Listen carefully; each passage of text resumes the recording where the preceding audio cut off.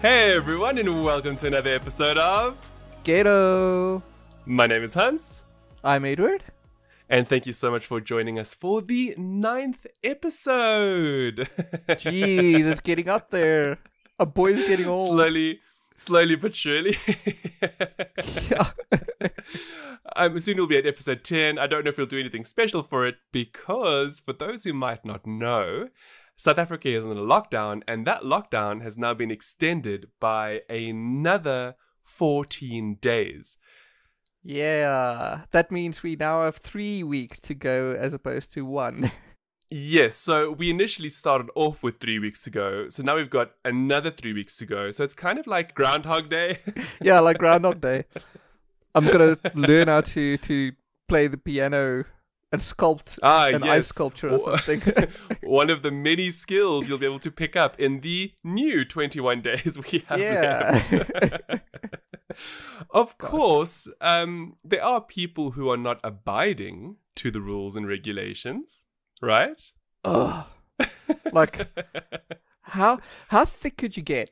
Honestly, like this is all to to f- well, quote unquote, flatten the curve. It's to Correct. make this thing go away, and it's just not. realistically it won't go away until we get a vaccine okay? But but staying at home is a very good means of lessening the spread. And if we can lessen the spread we drop the curve. If we can drop the curve it means that our medical resources won't be overutilized and therefore less deaths will occur but of course, you know, there are a whole lot of Neanderthals out there, just like some of the people in my complex who just this morning we caught sneaking in some contraband in the form of alcohol. Gosh. and speaking of Neanderthals, so that sounds so so insulting, but I totally agree with you. Um, speaking of Neanderthals, I just wanted to, to mention something we came across this week. Um, Yes. regarding it's actually incredibly interesting. yeah. Um, so basically, did you Actually, know hold on, hold on. Be- be- Before, before you continue, hold on, hold on.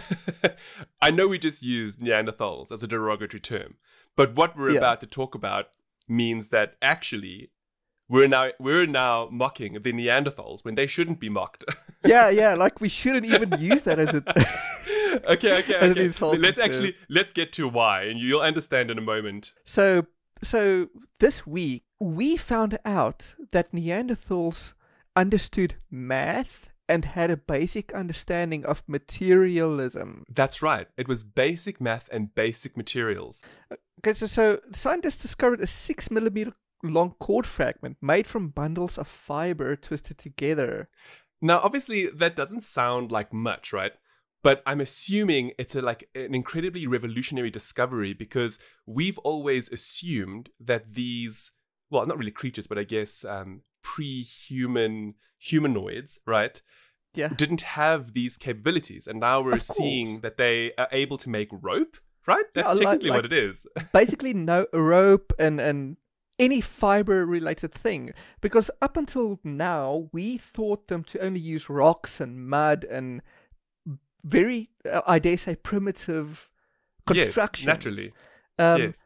but now we know that they were able to uh, co- to build complex things like bags and nets to fish with and maybe even proper fishing um fishing That's equipment. actually incredible. So, so technically, what this is what like a 41, 52,000 year old discovery, right? yeah And the the understanding by the scientists in who discovered it in the southeast of France is that um, these early fibers they're assuming they were actually able to yarn them together, right?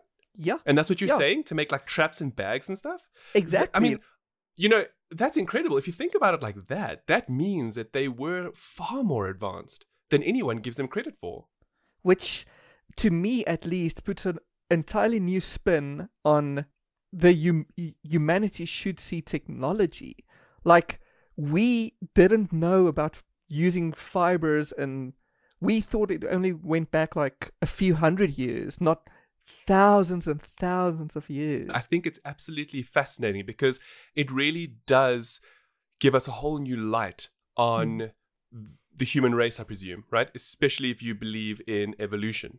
Yeah. And it, it's fascinating to see where we could have possibly come from and to know how these humanoid creatures were actually far more advanced in terms of productivity and creating tools than we've given them thought. Mm. And if you take that into consideration, then you also have to give credence to the fact that it's possible that they actually lived complex lives. You know, maybe with cultures that we just aren't aware of because they were destroyed and, you know, they didn't have methods of putting these down to stand the test of time, you know, much like how the Egyptians in, in the hieroglyphics, you know? Exactly. So it's it's really fascinating. And I also understand from the article that the fibers were derived from bark, which Yes. is very interesting to me, you know, versus how we get fibers today. And that therefore again leads to the sense of the fact that Neanderthals possibly understood growth and the seasonality of conifer trees. Yeah. Uh, which means they understood math. It's, That's it- incredible. they could figure out when to use which bark and how to weave it in such a way to make it useful. It's really incredible. Now, something that intrigues me about this whole thing is we're only discovering this now, right? And Mhm. if you believe in the theory of evolution, you have to believe in coincidence, right? Yeah. You know, you have to believe that these things just randomly were able to come together versus somebody who believes in divine intervention like myself, all right? Mhm. Now, in terms of coincidence, I don't know how much you really think about serendipitous events. Um, I do not. well, I, I like to like look at things within life and see how things sort of like come together and how they relate in that. And with that in mind, I actually came across something called the Laura Buxton coincidence. Okay. And it's the most fascinating story of pure coincidence. And essentially, it's about this lady, Laura Buxton, right? Um, who in 2001 released a balloon with a note, and it contained her name, her address, and a message, uh, basically for whomever finds it. And Okay. what is most, what is so interesting about this is that 10 days later, somebody did find it. All right. It was actually a neighbor of another lady called Laura. What? So the neighbor then gives this package from the sky okay. to this other lady called Laura. And now this is where things start really getting very strange. Okay. So not only do the Lauras share the same name, right? But Laura A, who sent the balloon, and Laura B, who picked it up, eventually got in touch with each other. And then they decided to meet. And now Okay. this is where the coincidences just started spiraling out of control. And honestly, you've got to believe that we either live in the Matrix or there's some sort of divine intervention happening because this level of coincidence is honestly going to blow your mind. So what ends up happening is Laura A and Laura B decide they're going to meet each other. And when they do, they're wearing identical outfits, including the same pink sweater. All What? right. okay, yeah, yeah. So if it wasn't weird enough that they had the same name, they actually ended up wearing the same outfits without without realizing it. Now, bear in mind, these are total strangers. They don't know each other. One sent a balloon, and the other one somehow managed to get it, and this is what's happening. Okay, cool. So, so before you continue, um, you say they made up. How far did this balloon go, and how far did they have to travel? it traveled 140 miles. What? Which is super far. I mean, that's what, like 250 kilometers, almost 300 kilometers. About. It's basically like us in Joburg throwing up a balloon and it somehow gets to almost Durban. Yeah. And then it just so to happens that this person has the same name as you, and then you decide to meet up and you're wearing the same outfit. But hold on, let me, let me continue because it gets a little bit weirder than that. Okay. so, not only are they wearing the same clothing, but they also have the same color hair and it's also cut to the same length. Okay. Now, obviously, this doesn't seem all too, you know, unrealistic that people would have same similar color hair and you know what it is brown and maybe a similar color length, but it gets weirder still. Okay. so, in addition to that, they were the same height and they were both taller than kids during school, other children. Um, so they had that as a, as a commonality. They also each had a three year old Labrador retriever, a pet rabbit, a tan guinea pig with matching orange markings, all right, that each girl This sounds fake. brought with them. Hold on, that each girl brought with them to the meeting where they met each other. Okay, and Wait, I mean, wait. they brought the animals with them. Well, not all of the animals, but the guinea pigs. Oh, that's so weird. Right? But I mean, there's just so much coincidence here. I mean, how how is it that you can meet a total stranger over 300 kilometers away with the same name as you, the same hairstyle, the same height, okay, the same three pet animals being a rabbit, a guinea pig, and and a three-year-old Labrador? I mean, I'm getting my nipples are hard just thinking about this right now. Like for the greasies that I'm getting right now. Imagine having an ex called Laura, dumping her, and then moving out of town 140 miles away, meeting another girl named Laura, and she's the exact same. well, you see, now wouldn't that be serendipitous? that would be. you- I, I would go crazy. Gosh. well, it's just it's it's incredible, and like you know, the more you think about it, the more you, I believe that there's things we still don't understand in the universe. You know, like why people have been buying out toilet paper, okay, and how that is now the currency of the Yeah, like- future. You're like, I thought it would be bottle caps, but okay. Uh, this is going to sound way out of left field, but I bet you could tell them apart by, by their anal prints. I know we were just talking about toilet paper, but how are you getting to anal prints? I'm not. I'm not entirely sure. Well, twins, toilet paper, anal. Anyway, Oh, wait, hold on, hold on, hold on, hold on. Are you telling Yeah. me that our butts are unique? yes, apparently they are. what? Yeah. So, so get this. Um, What? so I came across a little little tidbit on the internet. Oh, I love the internet. Um, of Oh a modular a modular attachment for your toilet, okay, that can read your anal print and detect possible health issues and who you are if you attach it to your toilet. I'm sorry. Oh, okay, okay. I'm just wondering, like, who funds this research? like, like, hi, university board. I want to create a probe that can look at anuses. yeah. okay, so Look, So- at least the aliens would be proud, right? Uh, yeah, they Paul would be so proud. So this Ah. thing, it was created by researchers at Stanford University. I, I can just imagine how that board meeting went. Um, and it's equipped with cameras and sensors that collect information. That on one, I'm they look at your sorry, anus. Two, they they collect information on your bodily waste, and then they use the different s- stuff they collect to tell who you are, what, how old you are, and to, to basically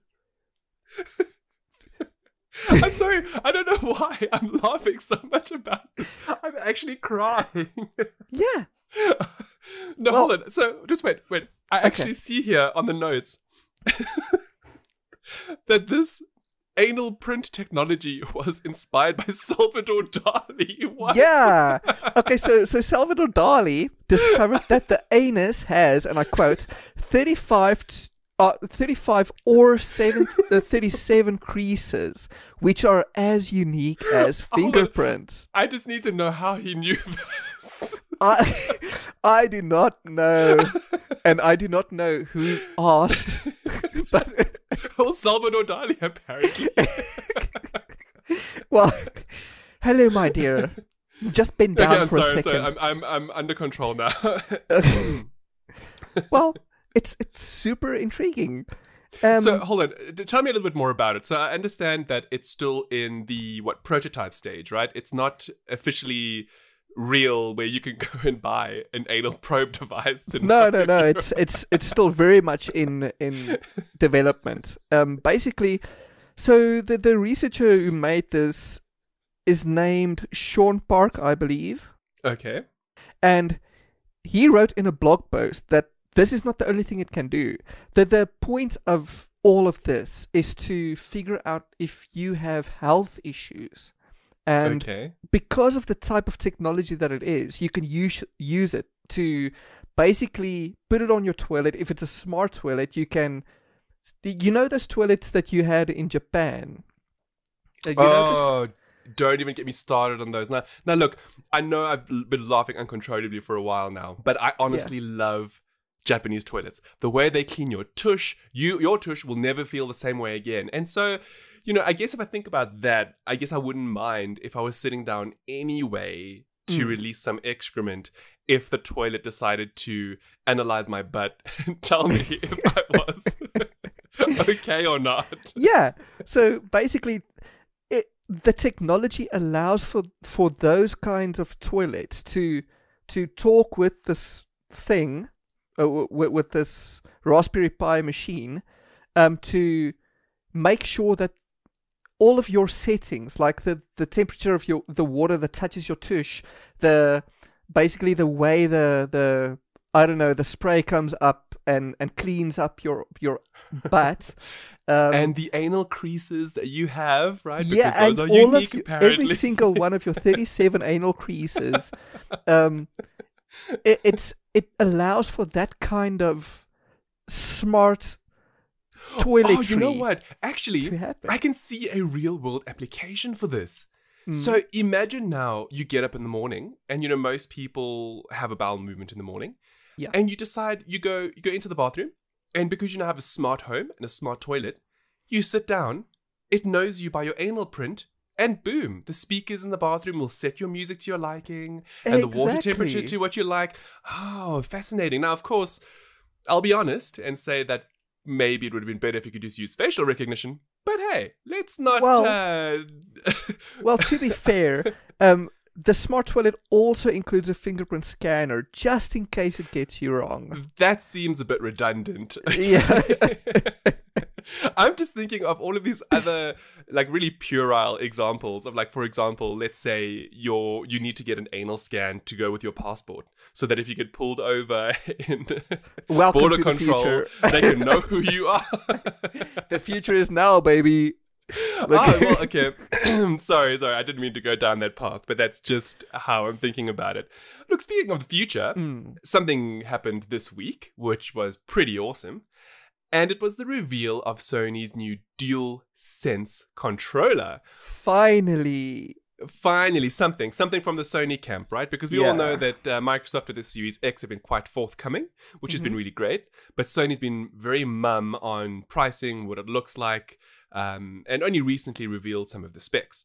Hmm. So, DualSense, it's an unusual name because it moves on from DualShock, which they've been using for a very, very long time. Yeah. And the design language is really unique this time around. So I personally like the look of it. I think it looks great. Sure, there are a lot of memes out there right now. Um, and I do think that the coloring, because they've gone for like a black and white motif, Yeah.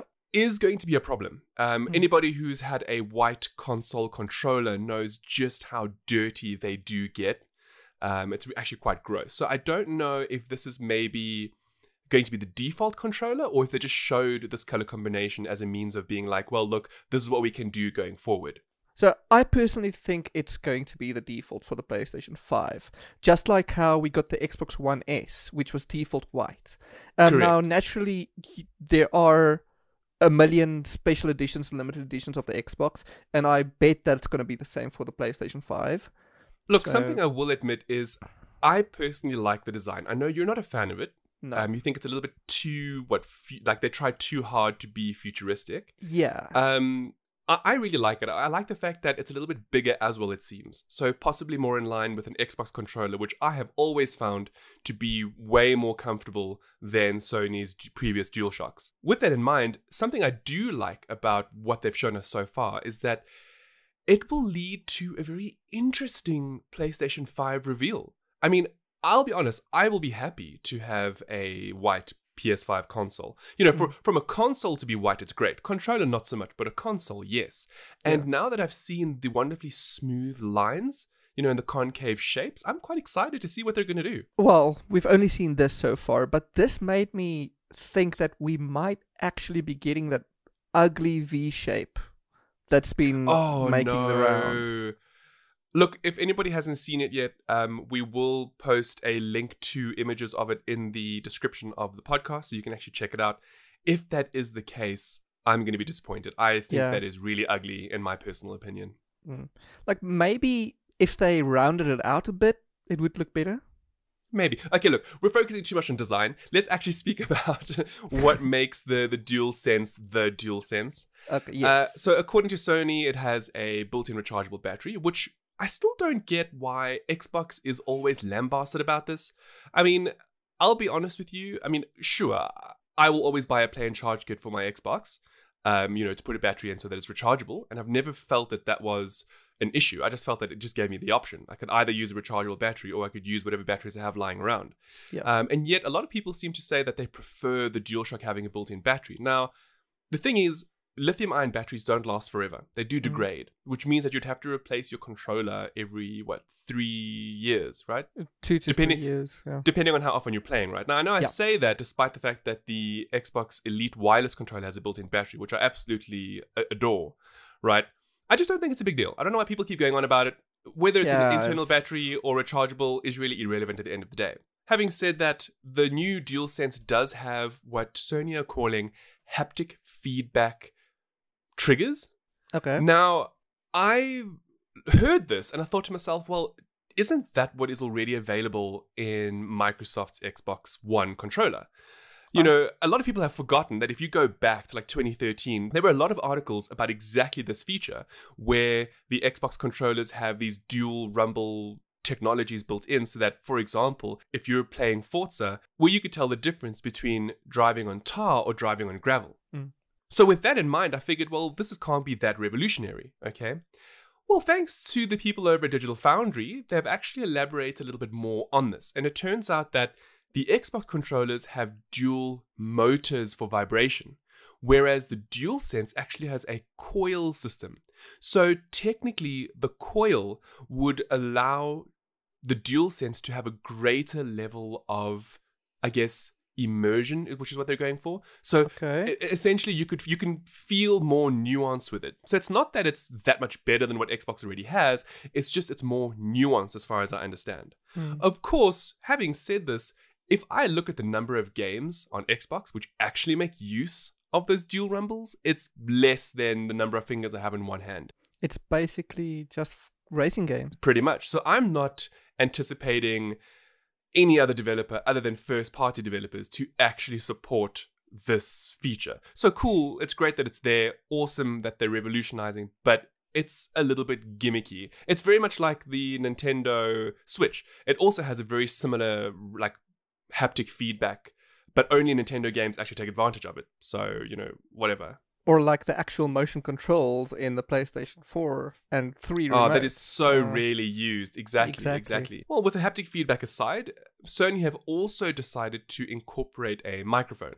Now, my understanding is that it will be somewhat advanced, right? It will have um, a proper microphone array, which I think will capture in stereo.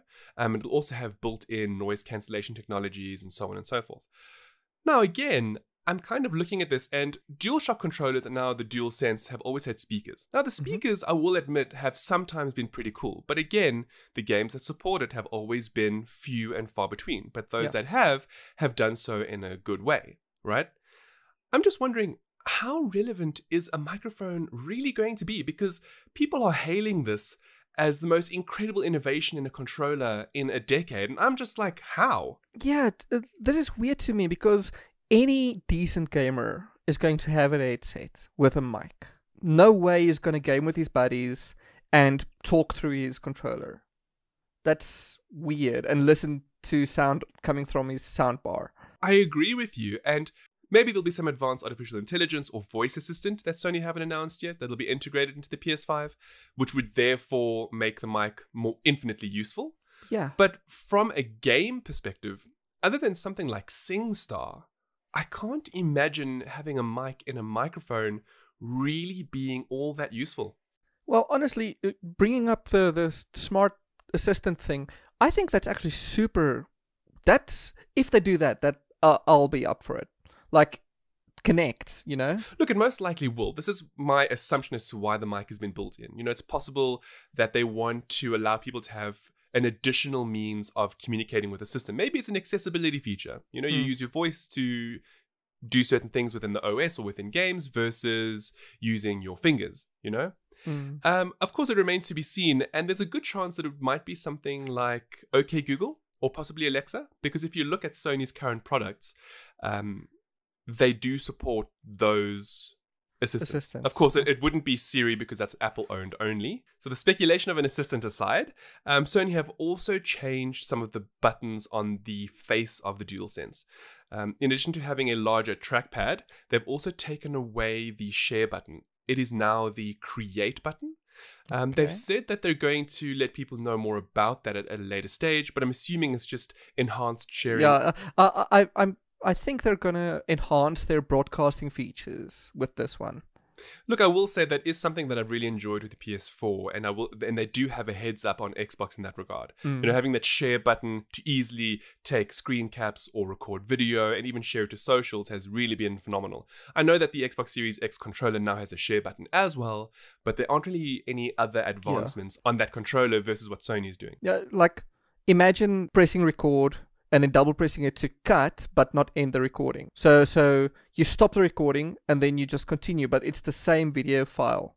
And then you Oh, you I can see. So, upload so that like directly from the snippets. Yes. Oh, I see what you're saying. Yeah, yeah. That that might actually work. That'd be quite cool, actually. Mm. Uh, look, again, we, we'd have to we'd have to wait and see Yeah. as to what's going to happen. Look, I'm sure it'll come in handy for streaming, no doubt. I mean, we know that, that both consoles to some degree have um, built-in streaming options. Yes. More so Xbox than PlayStation, but you never know. That Maybe there's like a Twitch sponsorship in the future. Well, speaking of Twitch and the future, we all know Twitch has been really, really, really bad at policing adult content and creators that, that break all their rules. So now, literally just yesterday, as as we're recording this, um, they they came out with a bunch of new rules um, that basically cracks down on showing skin. But are they actually going to do it though? Because we all know that they pick and choose who the rules apply to. That's the one issue I'm worried about. but it sounds big though. Like um, creators aren't allowed to to show anything above like the bust line. They're not allowed to to show any tummy. Yeah, but like, why? I don't know. I, I think it's So It- hold on. So so what about digital performers? Like, what if they're not real? this is so that's what I'm getting at. Like Project Melody. Like we spoke about this in our very first inauguration inauguration episode. Um, not even virtual creators are exempt. Wow. Yeah, So like- everything. every single thing. Now, I think this is to to basically appease the people like us that say like listen, you got to get on this. But will they actually follow through? Well, this is the thing. I mean, isn't there that one streamer who literally like threw her cat all over the show and Yeah. no one did anything? like still today. Yes, and then there was somebody else who what accidentally showed like it Yeah, was there was this creator. He drew, uh, or she drew a butt on on an easel. she was painting, and she got How is that an immediate a ban. offense? That's just ridiculous. I don't know. It was an immediate ban versus the. I'm sorry for this word, but Twitch thoughts that show everything and they don't get banned. Look, you you know what? Maybe they should just have a restricted 18 setting. And you know what? You just put it on, and then you can basically do whatever you want because it's over 18. And then people need to sign in to make sure that they're over 18. And Yeah. sure, if you produce content that is applicable to all, then you have to make sure that you abide to these rules, right? Yeah.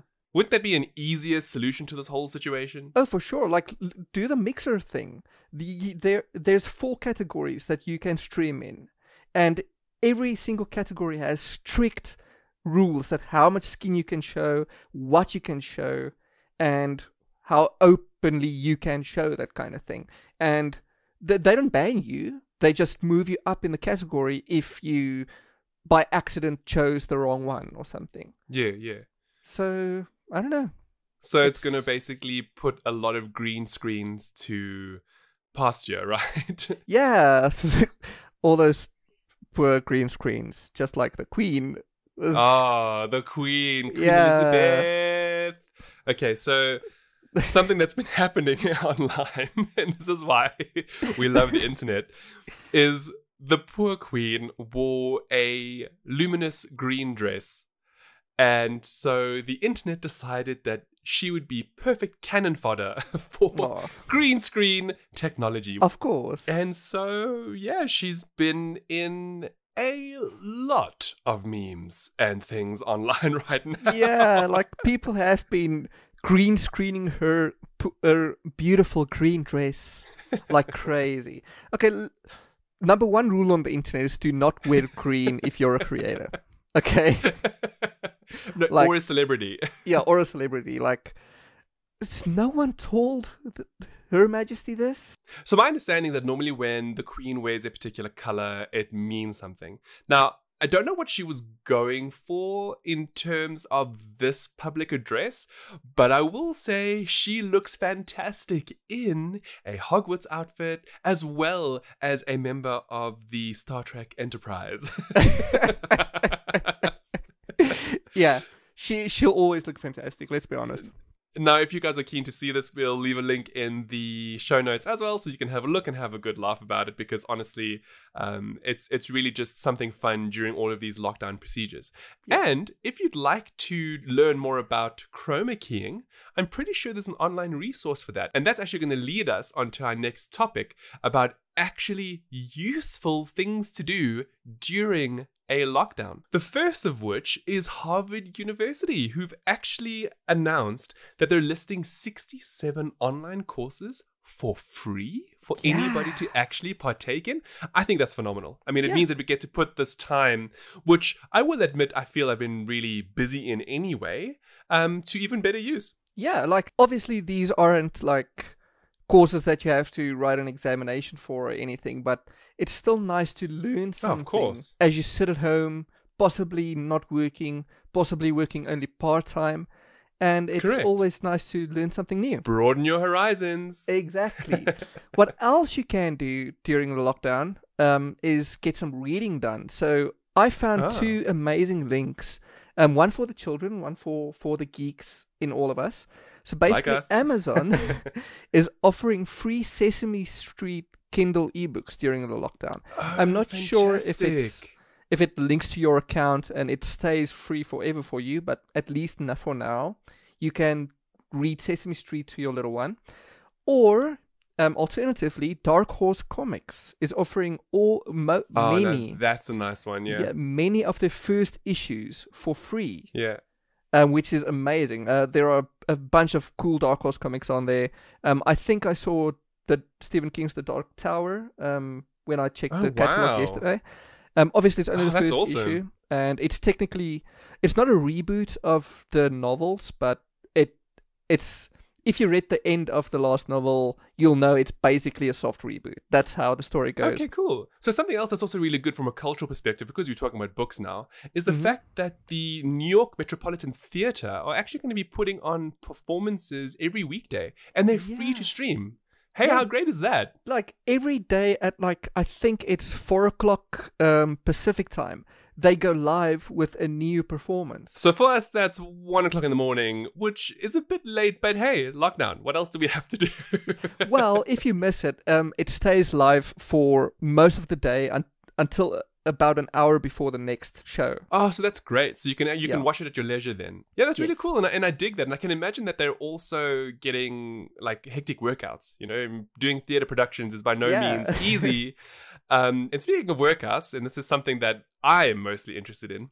Uh, Chris Hemsworth's Centr Fitness app is giving everyone, I think it's six weeks of free subscription. Oh, okay. There is a downside though, and it's only to first time subscribers. So I was quite uh, upset to find that out because I had previously tried the trial. Uh, I didn't sign up because I didn't feel that I wanted to. And I was keen to do the six weeks now, but I'm not eligible. so, That's- Oh, okay. So that's a bit unfortunate. look, other than that, I'm finding a lot of resources on YouTube. So if you really are interested in doing exercises at home, but like genuine, like body weight, Yeah. where you don't need a band or a dumbbell or anything like that, there are a lot of resources. Oh, okay. And um, if you check my Instagram, I do post every now and again, so you can, you know, if you're keen, you know, check it out. But of course, if you don't want to work out and you just want to laze around and watch TV, that is also a perfectly good option. You can do that too. or play games, whatever the case is. Uh, so so yeah, did you know um on that on that note that Plex has made their entire movie catalog of classic 60s, 70s, 80s and 90s movies um Oh, that's Open to awesome because that was free. something that used to be locked behind the Yeah. Plex Pass paywall. yes. Um so basically Plex already has free offerings on on on the app, but now uh, they've always just been Yeah. like web shows. Um now you can watch proper movies. That's proper awesome. I dig that. For free. You, all you need to do is download Plex and sign in. And boom, and Bob's There your you go. uncle. Now, if you're not interested in classics and you want something a little bit more modern, so I know we spoke about HBO and sci fi last week where they were offering free series but not applicable to us. Um, somebody that is offering Yes. free shows to everybody now is Apple and Apple TV. Ah. Now, um, their service is already cheap. It's what five dollars a month. So that's what like eighty rand, hundred rand a month, and the offerings are fairly decent. I mean, look for the amount of money, it's it's good value in my personal opinion. Now, however, because of the whole COVID nineteen situation. Apple is offering a variety of their original content for free Yes. to anyone with an Apple ID. That's anybody. So whether you have a, a Mac, an iPhone, an iPad, or even just the Apple TV app on a smart TV or an Android device, you can now Ah. enjoy these shows for free. And my understanding is they're doing this for I think for a couple of months. I think it's up to six months. I'm not entirely sure on the time frame. But it's free. And the shows that they're offering in particular are Dickinson, which I've personally watched and it's quite funny, uh, Ghostwriter, which is meant for kids, Helpsters, which I haven't seen yet, For All Mankind intrigues me, haven't seen it yet, but I'm very keen. Servant is an M. Night Shyamalan show, and it was definitely something. If you want to binge something, it, it- it's not so bad. uh, Snoopy in Space for the kids, and then The Elephant Queen for family entertainment. Now, it does exclude some of the more premium shows like See and The Morning Show, but I do like the fact that they're doing this. They're one of the few people or companies who are actually offering content on a global Mm. scale for free. Yeah, it's it's um it's huge. I think it's great. So that pretty much covers different things to do during the lockdown, especially given how ours has now been lengthened, and Yeah. um, you know it might possibly be lengthened even further. We aren't sure just yet. Speaking of, I just wanted to ask you, Mm. um, what plans do you have for these extra fourteen days, or like, is are you going to maybe try and really do anything different? I don't know. Like, um, I, I am actively learning Russian. Um, as you know. This Um, we know. Otherwise, other than that, I don't think so. All I know is my stocks are quickly running out, and I'll need to go to the shop. Oh, oh yes. I, I, I must be honest. When I went out of the house for the first time last week, it was quite a, a nerve-wracking experience. I can Uh, imagine. I know exactly. Weirdly enough, felt. because and, and it's so strange, like you know, because we've all taken this freedom of movement for granted. So now to no longer have it is very strange. But I, I think more so also because the government has been very, you know, their message has been quite stern. You know, Mm. they're like, if you're not out there for essential services or essential food, whatever the case is, you're going to be arrested. yeah. Um, and we've seen this happening a lot. Well, of course, unless you're a government official. Uh, well, we won't talk about that right now. This is not a political podcast. but I do Yeah. feel everybody should be held to the same accountability and there shouldn't be preferential treatment. Yeah. Um, despite that, I think that Cyril is doing a fantastic job. And I do want to talk about that. I just want to mention that for a couple of seconds, just to say that in all my years of being in this country, as a young adult, I've never really thought the leadership was any good. Yeah. I still have my reservations on the current leadership, but I will take my hat off to the guy. He is himself, as well as the people that he has under his staff and that who are advising him. They are doing a fantastic job. And as much as we don't like the extra two weeks, it is absolutely needed. It is necessary. Rather, we do this than have an increase in mortality rates. Yeah. Now, say what you will about the ANC. I think Cyril is the best president we've had in a long time. I So- agree, hundred percent in decades. Yeah. in decades. Yeah. Okay, well, I mean, now from my side, what I plan on doing is what we've mentioned in the list in our podcast. Yeah. I'm genuinely going to go and check out that Harvard link. I want to see what is actually available and maybe do one of those courses. I think it's really cool. Watch you become write some thesis on on something new. you know, like a revolutionary previous thesis. I mean, I, I do want to do it my doctorate in the future, uh, possibly. So who Mm. knows? Maybe I'll, I'll go and see some sort of cool course there, and Yeah. that might lead me into something. knowing you, you you you're gonna write some thesis on, I don't know, Chris Hemsworth's fitness app and how gaming relates to English and anyway, anyway, um, I do think we've we've most likely reached the end of the episode nine. Hey, episode nine of GETL.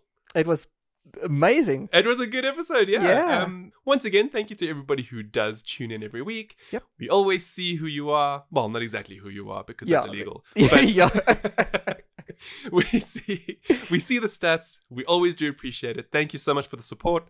And we hope to see you next week for episode 10. Yes, Hey, week number three of the lockdown. We're almost a teen. almost. Gosh, Awesome. Well, thank you so much, everybody. We hope that you have a wonderful week further. It is also Easter weekend this week. Um, regardless of your religious denomination or lack thereof, we wish you all a wonderful weekend and may you have good times with the family and friends and stay safe. stay very safe, please. Yeah, have a lovely There one. we go. Thank you, everybody. Ciao for now. Bye bye.